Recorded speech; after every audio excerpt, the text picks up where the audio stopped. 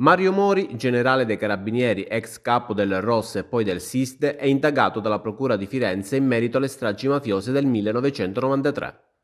A renderlo noto è stato lo stesso militare con una nota. Le stragi sono quelle compiute tra il maggio e il luglio del 1993 a Firenze, Milano e Roma. I magistrati gli contestano che, pur avendone l'obbligo giuridico, non avrebbe impedito, mediante doverose segnalazioni e denunce all'autorità giudiziaria, ovvero con l'adozione di autonome iniziative investigative e preventivi, gli eventi stagisti di cui aveva avuto anticipazioni.